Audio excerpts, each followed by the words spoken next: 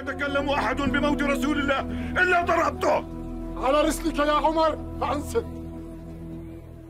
ألا تسمع ما يقول هؤلاء الناس؟ قد نافقوا يا أبا بكر. أنصتوا لي أيها الناس. الحمد لله القاهر فوق عباده أما بعد. فإنه من كان يعبد محمدا فإن محمدا قد مات. ومن كان يعبد الله فإن الله حي لا يموت. أعوذ بالله من الشيطان الرجيم.